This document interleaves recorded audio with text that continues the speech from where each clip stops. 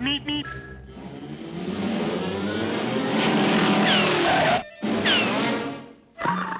Meep. This is an almost perfect plan.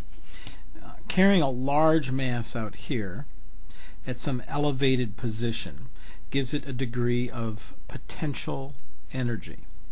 Somehow he lifted it to that height. They're founded already at that height and uh, was able to construct a pendulum and such that when he stood out here it has a certain amount of potential energy. Let's say a thousand joules. When he releases the pendulum, the pendulum will swing down to some zero position uh, right above the road, and it will have zero potential energy. So the zero potential energy uh, will now have been changed into kinetic energy.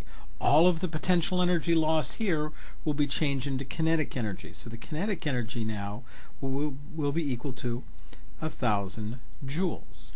And you could actually find the velocity if you wanted to, because that would be equal to, well, if kinetic energy is 1 half mv squared, 2 times kinetic energy divided by m, take the square root of it, would be equal to your velocity. So knowing how high it is and how much potential energy, it'll have velocity.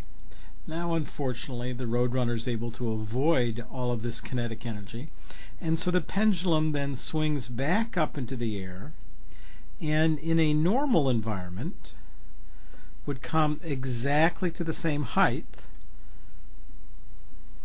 where it would stop. Now it's lost all of its kinetic energy. It's changed back into a thousand joules of potential energy.